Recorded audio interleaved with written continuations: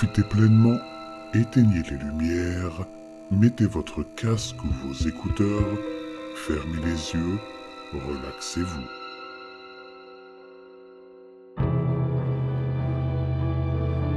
Marjorie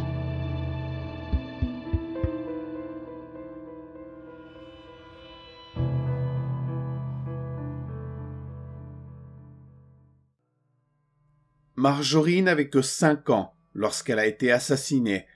Un meurtre brutal d'ailleurs. Des ciseaux de jardinage dans l'œil. Quelle façon de mourir.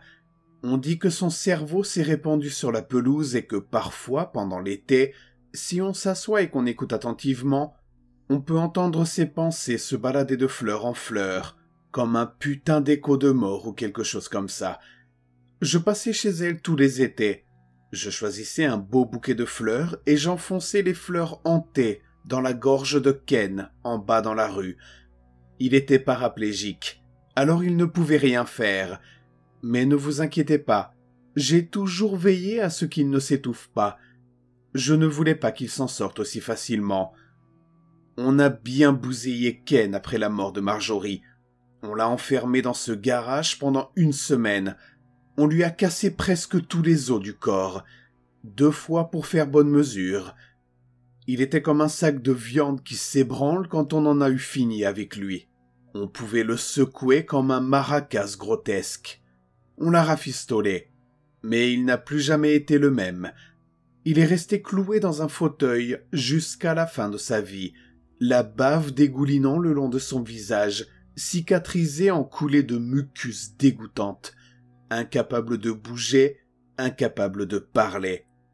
Je me suis toujours dit que cet enfoiré était bien placé pour faire ce qu'il avait fait.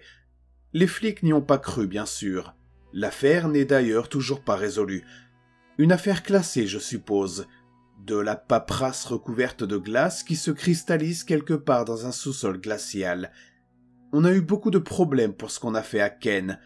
Ils n'avaient pas de preuves, mais ils nous ont quand même mis le grappin dessus. Deux ans de prison, putain. Quoi qu'il en soit, les flics n'ont jamais cru que Ken l'avait fait. Mais laissez-moi vous demander ceci. Qui d'autre aurait pu le faire? Nous savions tous que Ken l'a harcelé, qu'il la suivait comme un petit chiot. Il était tellement effrayant. Des yeux de petite fouine qui fixent votre âme, une voix sifflante et aiguë, un putain de psychopathe. Alors je lui rends visite chaque année, je lui enfonce un autre bouquet de fleurs de cadavres dans la gorge. Je le regarde se tortiller alors qu'il manque de s'étouffer avec ses fragments fantômes. Puis juste avant que l'obscurité ne l'engloutisse, je lui enfonce un doigt dans la gorge et je ris lorsqu'il se vomit dessus. Pourquoi est-ce que je vous raconte ça? Je suppose que je n'y ai jamais vraiment cru, vous savez. Pour moi, ce n'était qu'une histoire de fantôme, une façon de se souvenir d'elle, de se souvenir de ce qui lui est arrivé, des fleurs hantées, l'écho de la mort, des chuchotements fantômes, une putain de légende urbaine. Tandis que je regardais le vomi puce couler en flot épais le long de ses vêtements de merde puants, tout est devenu réel. Fixant sur moi des yeux enfoncés comme ceux d'un enfant, la mâchoire de Ken s'est ouverte, sa langue tremblante et gonflée prononçant les premiers mots qu'il avait prononcé depuis des décennies.